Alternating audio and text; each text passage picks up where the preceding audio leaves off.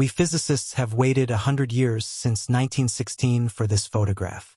It is a region black holes might just be one of the most fascinating and mysterious phenomena in the universe. They are massive beasts in terms of power, but at the same time virtually invisible to us. A black hole weighing perhaps two to four million times the mass of the sun. But because of the research that was put into them over the last couple of decades, we've gone from knowing absolutely nothing about them to getting to learn more and more up close and personal. And while things have just gotten crazier, Michio Kaku just announced that we've finally gotten a look at what's inside a black hole. And this new information brings light to the details the world of science might have missed all along. Join us as we deep deeper into black holes and unveil what's inside. Space is big bad. What are black holes? Before we get into the details of what Michio Kaku found, we have to talk about the firsts. Even though most of us have some idea what black holes are, there are still some gaps in the right information. You see, in 1916, Albert Einstein published his theory of general relativity, which predicted the existence of black holes. At that time, the concept of black holes was purely theoretical. It took another 50 years for the scientific community to find evidence that black holes actually exist. This happened in the 1960s. They were studying the Cygnus constellation when they noticed an oddly bright blue star that was emitting X-rays. This star wasn't a stagnant object but was going around a giant black something.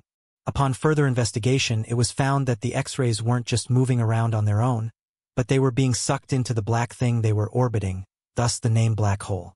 This discovery was significant because it provided proof that black holes actually exist and that were just a figment of Albert Einstein's wild imagination. While that was great, it also meant that there was this unreal entity in space that we urgently needed to know more about. So researchers all around the world got to work. This black hole was named Cygnus X1, and it is located in the constellation Cygnus about 6,000 light-years from Earth. And it was no small discovery. It's about 14 times brighter than the Sun and incredibly dense, which causes it to have a strong gravitational pull. The gravitational pull is so strong that not even light can escape it. This is why it is called a black hole. The concept of a black hole is both fascinating and terrifying. It is a region of space where gravity is so strong that nothing, not even light, can escape. Anything that gets too close to a black hole will be pulled into it, never to be seen again. But that aspect of danger makes it even more necessary to learn everything there is to know about them. Was this it? Or were we just beginning? The answer ended up being the latter. After the discovery of Cygnus X1, scientists started to search for other black holes. They found that there may be close to over 100 million black holes in the Milky Way alone. But because they are so incredibly hard to detect, we still don't have an exact number. Nevertheless, from the looks of it, there are several million black holes in the Milky Way, in our very galaxy, which is what makes them even more important to study. So let's break it down. The main concern with black holes is always going to be gravity. Their gravitational pull is so intense that anything that enters it compresses down astronomically until it becomes a singularity. In simpler terms, black holes are like cosmic vacuum cleaners that suck everything in. One of the scariest parts about the research that's gone into black holes is the fact that if someone were to fall into one, they would get stretched to the point that they become a single line. This process would happen slowly, and the person would die before the final form actually sets in. So let's just say that no one should be stepping into one. But they're all over, so could we really be in danger? Despite the fact that the closest black hole to Earth is one 500 light-years away, it's still close enough to bring up questions and concerns. In 2021, scientists were able to release the first clear photograph of a black hole, specifically the M87 black hole. This black hole was photographed several nights in a row, and with each photograph, the researchers gathered more and more evidence about it. They had to stitch the individual photos together to create something that filled all the gaps. This way, they were able to figure out that there are three layers to a black hole. It's not just one single gaping hole of nothingness, as many people believe. Things are a lot more complicated than that. To even get to the nothing part of a black hole, you have to make it through the first two layers. The first layer is called the event horizon, which, while in the first layer, is the point of no return. Once you pass the event horizon, there's no turning back, and you will be sucked into the black hole. It only gets worse from there on out. The second layer is the photon sphere, which is the region where light orbits the black hole. Any light that enters this region will be trapped and will not be able to escape the black hole's gravitational pull.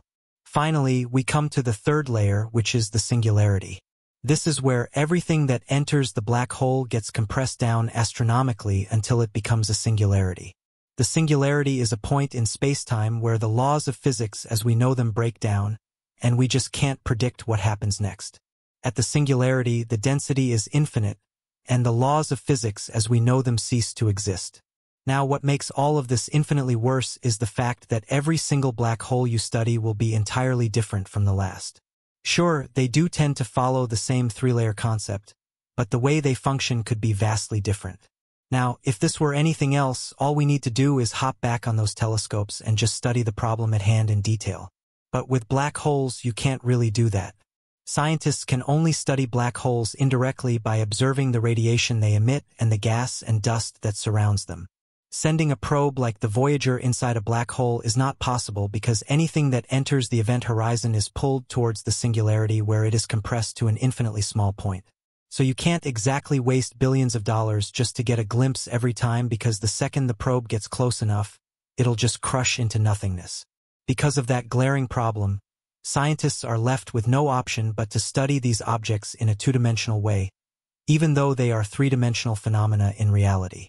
To make matters even more challenging, there are also the two problems of every black hole being unique and the laws of physics as we know them breaking down when we try to explore the inside. This means that the traditional methods of scientific inquiry don't really apply to the study of black holes. That doesn't mean that the researchers haven't been busy. There are lots of different theories and explanations of black holes, and with each one, things get more and more interesting.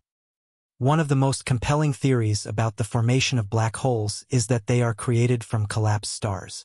When a star exhausts all of its fuel, it can no longer produce enough energy to counteract the force of gravity that is constantly pulling inward. As a result, the star begins to collapse in on itself, becoming smaller and denser as it does so. If the star is massive enough, this process can continue until it becomes a singularity. To understand the nature of black holes in depth, NASA scientists turned their attention to the core of the galaxy M87. Astronomers observed a super-powerful whirlpool of super-hot hydrogen gas that was spinning at an astonishing rate of 1.12 million miles per hour. The sheer force of this spinning disk of gas should have caused it to violently fly apart in all directions, but it didn't. Scientists deduced that there had to be a colossal mass concentrated at the center of the galaxy to prevent this from happening. This massive object weighed as much as 2 to 3 billion suns and could only be a black hole. But that's not the only theory. Black holes spin. In 1963, the New Zealand mathematician Roy Kerr used Einstein's equations of gravity to provide the best description of spinning black holes. Kerr showed that a spinning black hole wouldn't collapse into a point as previously thought, but to a ring of fire or a thin disk.